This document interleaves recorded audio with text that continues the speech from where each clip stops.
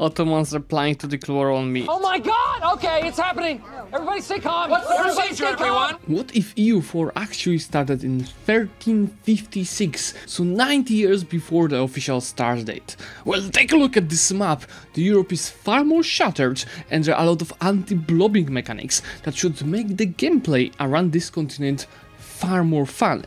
And to embrace it, I'm gonna try playing as the Serbian Empire. You can see its huge borders where I'm gonna try to survive as it because it's at the decline and unite the whole Balkans while stopping Ottomans from expanding. Remember to subscribe to the channel if you want to get notified about the future videos and join the community to get the special emotes and ranks and of course support the channel. Okay Mr. Serbia, I don't really need two forts next to each other over here so let me delete the fort in Belgrade. Now, let's take a look at the government. It's Serbian Tsardom, so getting the core creation cost as well as additional gov capacity. So the gov capacity is not a problem at all, especially that Serbia starts as an empire. So this is very helpful for us, on top of the fact that we are huge and we are having a vassal on which we are having cores, meaning that in 10 years when I'll be able to annex them, I'm gonna annex them in one month. Remember that this mod is not that just change start date and that's it, no, actually the developers of this mod are doing a lot of important changes. Especially the fact that we are 8 years before the start date of EU4 with anti-blobbing mechanics, minus 90% admin efficiency, right now I have minus 65 and together with the new technologies, you can see up to Tech 9, we will be getting that down to zero, and it's the same with the development efficiency. So for example, if I wanted to develop my gold mine, right now it costs 158 power points. So even three provinces minor like Byzantium, the total province war cost is 126 provinces, so I need two wars to annex them. I think that's a good change. Another thing that is changed completely are the policies. You can see that it's very similar to one of the MP mods that I was playing, where the policies are not dependent on the ideas. So you can see that I can can, for example, take the admin efficiency 10%, that's gonna be super useful. I'm gonna take the cost to fabricate claims minus 50%, as well as the actual CAF cost. And this is because CAF is having 0 fire and 0.8 shock while Infantry has 0.1 fire and 0.2 shock, meaning that CAF has over twice the amount of this, so it's far stronger and also peeps. Infantry has 1 peep, CAF is having 2 peeps, so it's extremely stronger and we already have 3000 of CAF in our nation. Biggest disadvantage of this nation is 211 ruler. He's 20 years old, so I'm gonna keep him for a long time. This is fine, let me just introduce the new heir, which is 645.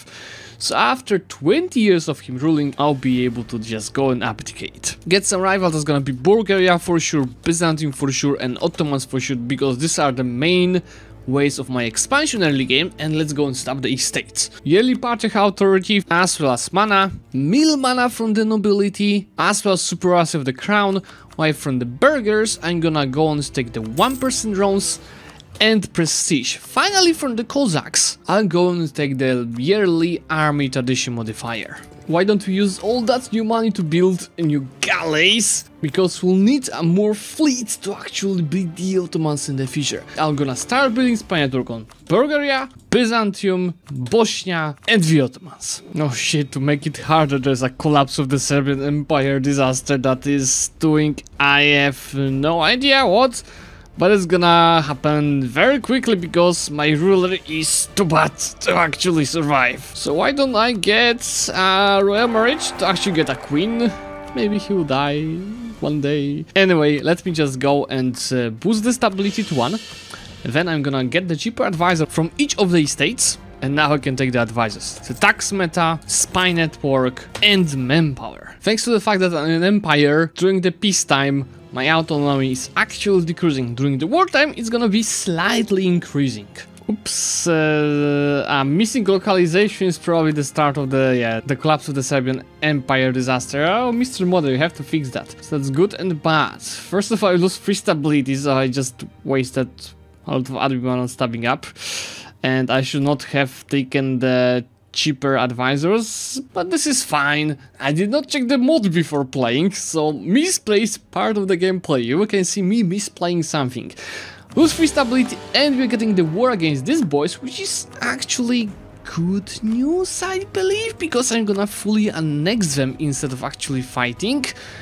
Yes, we have enough war score to do that too, but that's actually some expansion. Uh, what if I just make you my vassal again? I'm gonna still pay AE and diplo points. This is fine, at least I'll get a lot of new lands for myself. Of course I made my ruler a general, so maybe he's gonna die in a battle. Of course. Of course.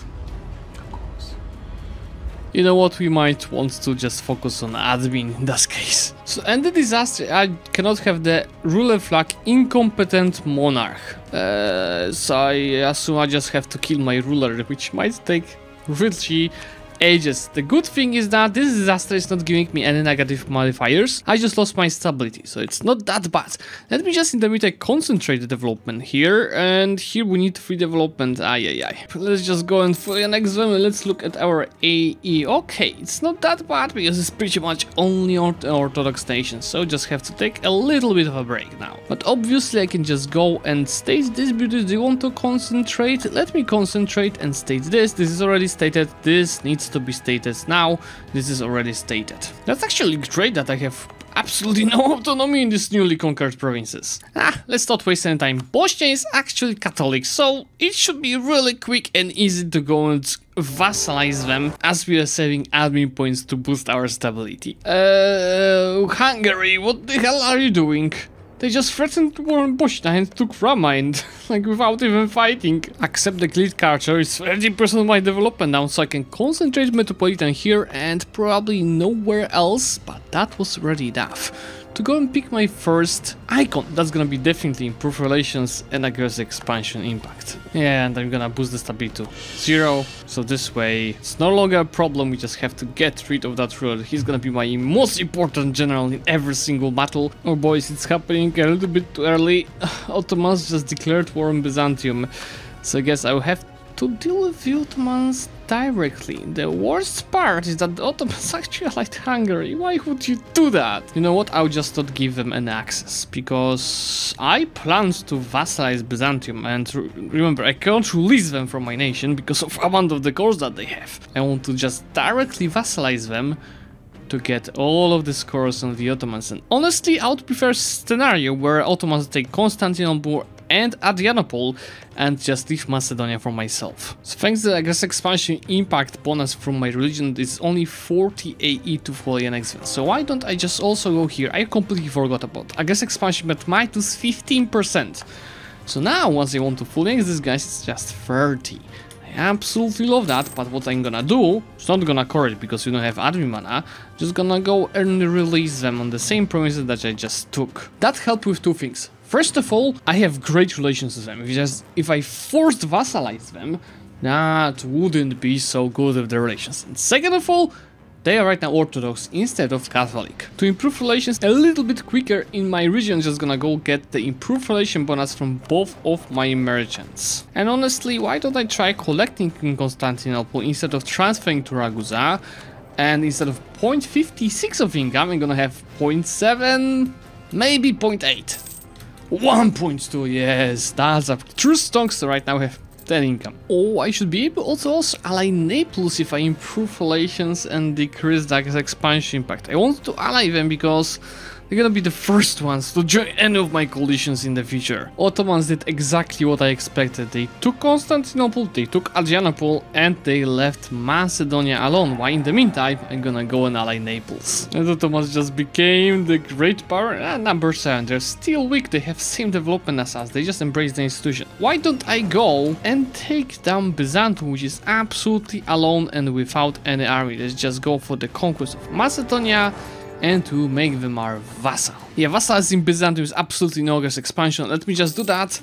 Of course, in this case, they're gonna hate me, but I couldn't do the same trick as with Bosnia, because they have too many cores on my provinces. First bonus I'm gonna take in Age of Feudalism is gonna be Cav Supremacy. Cav cost, Cav flanking ability, and Cav to inflation. So right now when I turn all my armies, I'm paying 0.22 ducats for my infantry, and 0.36 for my calf, meaning when I'll be building more troops to get to the first unit, it's gonna be mainly calf, still because of these bonuses. Okay, I'm building up my calf to 8,000 and infantry, I'm gonna keep it as it is. now let's get it to 12,000. Yeah, I wanted to attack the Ottomans, but then I've seen that they have 3.2 morale, 1 more than me, and 112, but discipline. No, no, no.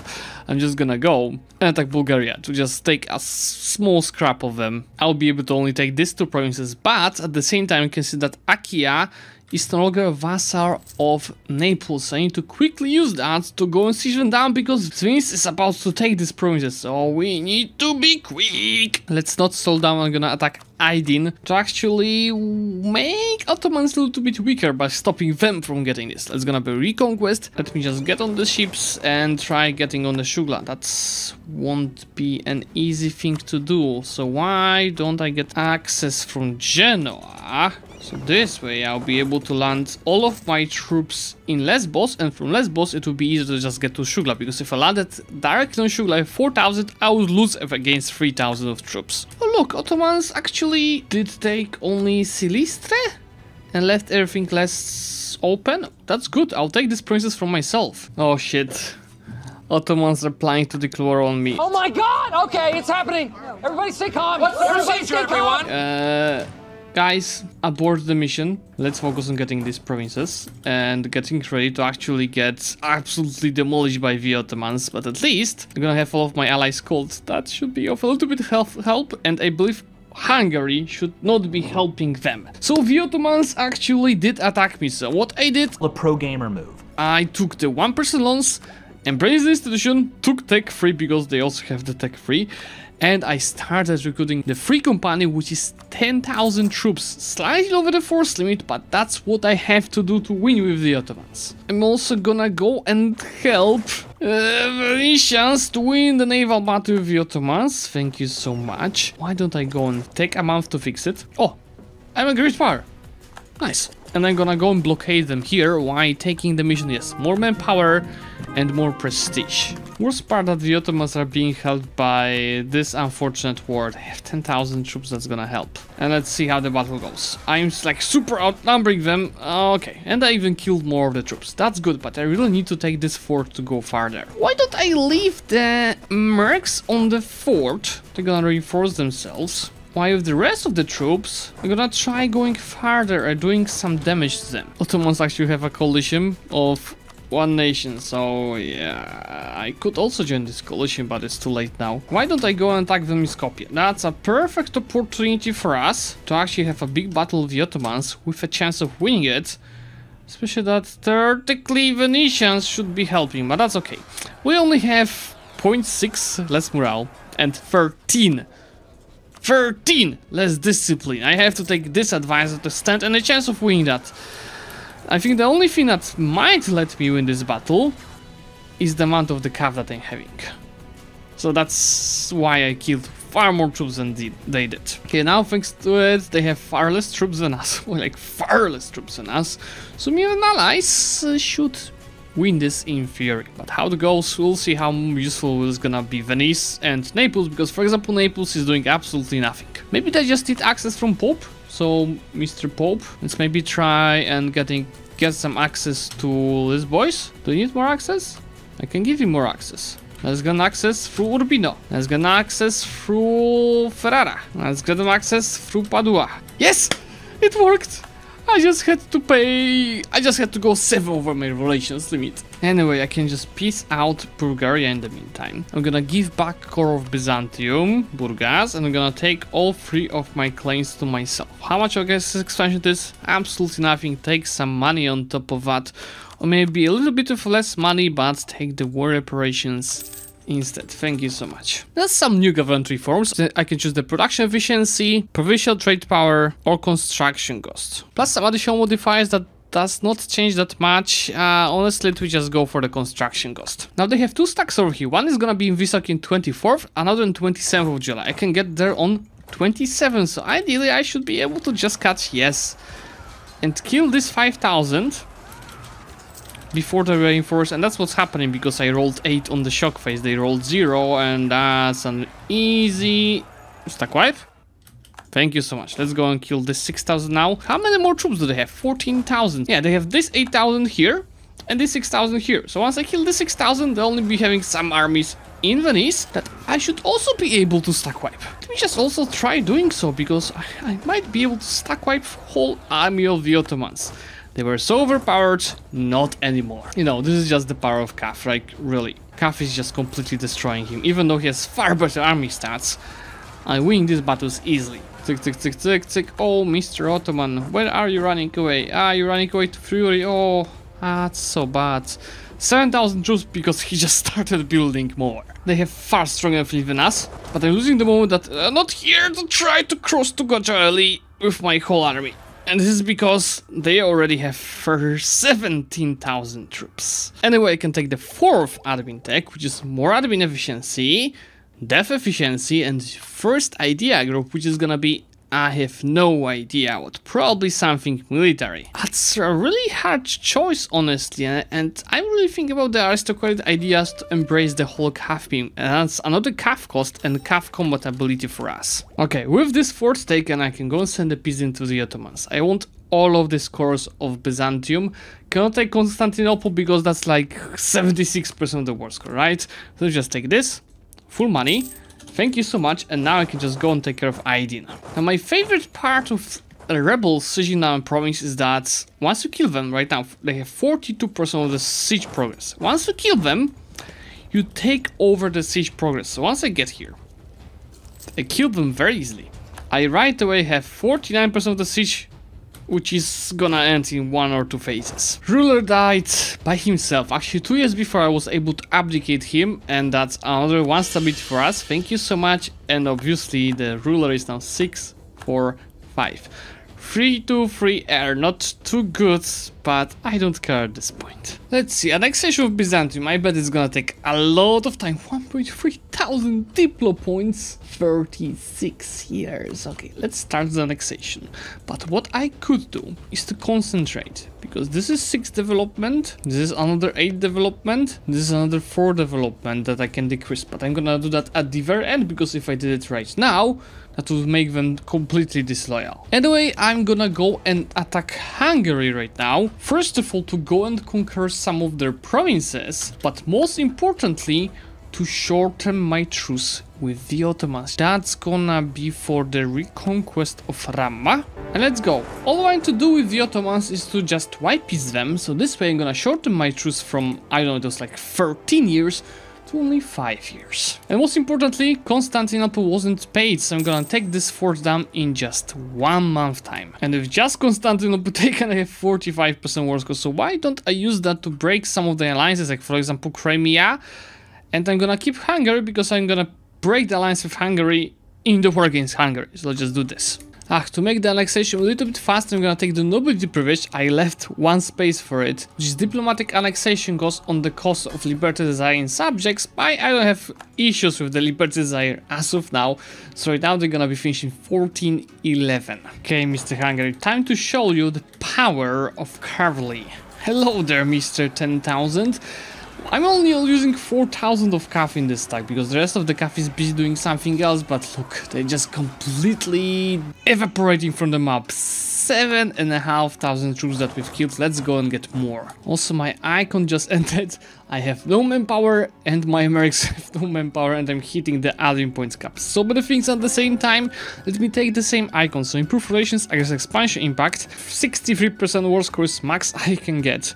Let me go for the peace deal like this, 69% of the war score. And let's maybe not break with Genoa, instead of that let's take a little bit more of the provinces. And this way, we are good to go. Send this peace deal, thank you so much. Serbia keeps growing and I think I'm gonna start annexing Bosnia as well. What the hell is happening to Constantinople? Why it is having 46 development in 1381? it was developed 14 times according to this game. I'm gonna take the admin tech a little bit of ahead of time, but this is because I have so many admin points, I'm generating so many admin points, and I have really nothing else to spend it on. Let me take this. Instead of 1412, annexation of Byzantium is gonna end in 1411 because we just got 5 admin efficiency and another 2 admin efficiencies coming from the next military technology. Truce with the Ottomans just ended. Let me just go and attack them. That's gonna be reconquest of Constantinople. My second bonus in Age of Feudalism is gonna be vassal force unit contribution and liberty desire in subject lands. Okay, so I want Constantinople, Annabelle, Silistra for myself, Mentesha for myself and as much money as I'm gonna accept. Thank you so much. This is far better now, annexation of Byzantium is gonna take even more, but remember, I'm still stacking admin efficiency modifiers, and also at the very end I'll be able to concentrate developments. For example, over here, I can decrease development by 14. With Tech 5, I just unlocked uh, early siege weaponry. So I can choose, it's gonna be the trebuchet with artillery cost minus 30%, with artillery damage from macro minus 10% and artillery bonuses fort minus 2. But at the same time it's gonna be having artillery shock, okay?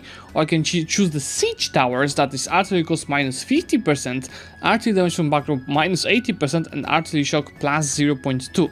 Or I can choose the Bombard, which is siege ability 10%, movement speed decreased, artillery damage from macro increased artillery versus fort minus one and artillery fire. I'll go for the siege towers, which is just the cheapest and I don't really care about like how much damage it's gonna do, I care about the siege effectiveness. And thanks to all the bonuses that I just stacked, annexing Bosnia is just a matter of 5 years. That's one of the situations where I'm actually happy that I have an event Air Force Yield because I have Tragic Air 3 to 3 and it's gonna be 50-50% chance or no I want 75% chance of him dying and look at him surviving that okay he died and uh, and what am I supposed to do with this peace of crap I have to kill him but I'm gonna kill him after I piece out Wallachia, which I'm gonna attack in a second because the more prestige I have, the less AE I'm gonna get for peacing them out. As I don't have manpower, I recruited a few generals 5 siege. That is nice. I'm gonna then slacken recruitment and wait a few months to recover these troops while at the same time I'm gonna go and get the free company on top of that. Or how's our money? How about instead of free company we get the Grand Company. I have enough money to maintain it. About AE, let me just go and take this policy again that is decreasing the gas expansion impact because that's gonna be a lot of AE I'm gonna take. 30 from separate peace in Bulgaria, and then I'm also gonna fully annex Wallachia, but first we need to separate peace Kiev. And as these two provinces are part of my state, that's a lot of mana to core them, but I don't have problem with having mana. And same case with Wallachia. Part of my state, 420 mana to core these provinces, but I don't care, it's gonna right away be my full state. Thank you so much. Let me just delete one of these two forts and I actually do not look at guess expansion, but it's not a problem, just look at our borders, especially on the player's map mode. Let's by the way see how the world is just looking. Uh, France, France, France, okay, they still have a few vassals, but not so many. There's a huge Navarra with these lands. Teutonic Order going crazy and taking Novgorod for themselves. And White Horde still holding majority of these lands, but at least Moscow is trying to fight them all for the independence. So that might be a good war for us to take advantage of and just attack Crimea to take over these lands. That is why I started building spy network on these few nations. Okay, let's see whose calf is superior, ours or actual horse. And I believe that should be definitely ours. Thank you so much, let's get another wipe on these boys in Rilsk. There goes annexation of Bosnia, making our borders far more beautiful and we received 4000 troops for free uh, as free manpower I'm gonna keep them. Anyway, after killing 88,000 of the troops, I can right now go and take whatever I want, which is all of these provinces as well as 5 ducats. Thank you so much, just take a look at the name placement. And can I concentrate actually these lands? No, let me just go and start coring them. Ah yeah, thanks to this wars we became the great power number one even above Ming. Next aristocratic idea is 33% maximum power as well as national endless modifier. So right now we're having 31,000 maximum power. And about prestige, let me just go and purge this heir. That's a way better heir. Anyway, I will not probably use him because I'm ending the game in around 10 years. Another war, another 65,000 troops killed. This is just showing how much of a killer machine this cavalry is on this mod. Okay, they're gonna accept one island. Let's go and take less Lesbos and as much money as they can have. Then, from Mr. Hungary, I want all of these lands, plus maybe something extra without getting a collision. So why don't we go with something like this? Thank you so much and full money. Look at the Serbian borders. Right now we just have to finish our annexation of Byzantium and take a couple of more provinces from Ottomans. Anyway, let's see, it's 1415, Then if I take this mil tech, it's 5 admin efficiency, so this is gonna be 14 13 and another 5 admin efficiencies coming from this. Actually, if I just save my titles, I'm gonna get the third achievement here, so next month I'll be able to embrace the golden era. Thank you so much, let's just go for it. Then I can just go and freely seize land to get it 25 and repay two of my loans. This... Oh! Selling titles in this mod is not giving money? What the hell? I didn't get even a single ducat from it. Anyway, admin tech. Another 5 admin efficiency, so this 1409 already. Ah, look, the first tier guarantee form is giving me diplomatic reputation, so annexation is gonna be even faster. Okay, Mr. Ottoman, you're my final peace deal today. Just take a look at that. These borders will be absolutely beautiful. No, not the last deal, there's still Hamid to be taken down. Once I take down Hamid and annex Byzantium, it's gonna be beautiful. Yes, a good summer of the campaign, the Comet side at the very end of it. And of course Venice is asking me to join some useless war, I'm gonna join it. But also I'm not gonna do shit in it because I'm ending this campaign right now. With 88% annexation cost, I think our trick should work. So I'm just gonna go and concentrate concentrate. And finally the biggest one concentrate. That's 105% so it could even do that a couple of months earlier. Doesn't matter. Time to annex Byzantium and fix even more our name placements. Could be better honestly but still these borders are absolutely beautiful and we have 700 great power score by only 1400, just the beginning of the campaign. By the way, look at this Teutonic Order in the meantime. Anyway, if you do enjoy this kind of the videos, so playing in the mods and have some fun in these mods, let me know by liking this video and saying in comments what other mods and campaigns I should try. And for today, thank you so much for watching, remember to subscribe to this channel to get notified about the future videos, and I'm gonna see you very soon.